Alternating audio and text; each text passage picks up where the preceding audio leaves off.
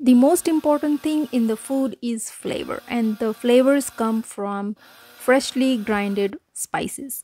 And in this video, I'm just going to show you uh, this gadget that I have been using it for about a week now, and I just fell in love with it. It's perfect to grind spices and paste into small batches for your daily cooking needs. Hello and welcome to Sanam's Kitchen. If you're new to my channel, please don't forget to subscribe. So here I have coffee and spice grinder, which is a really, really essential and it has two stainless steel bowl and with a grinder and a chopper and let's unbox this.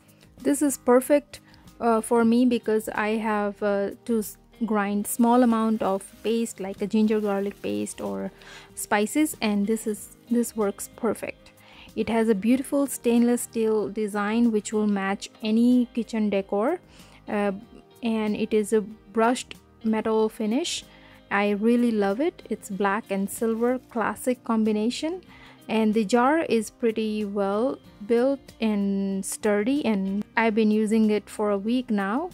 And there is another jar that's for grinding dry spices so it's beautiful as well.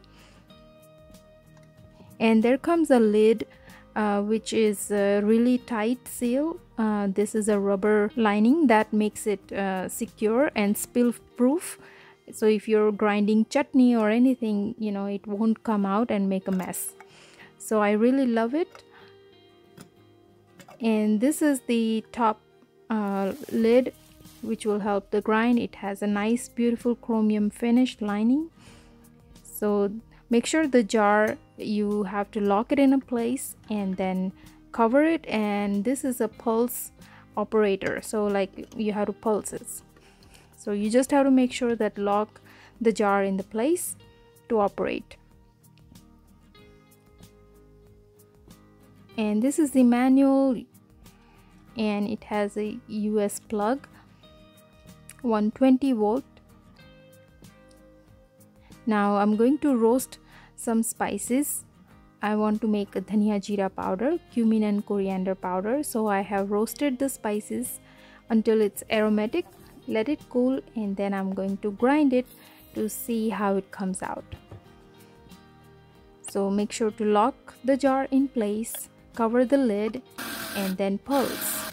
So in 10 to 12 seconds you have really fine powder which I really really like because you can uh, grind spices in the small batches and it's perfect.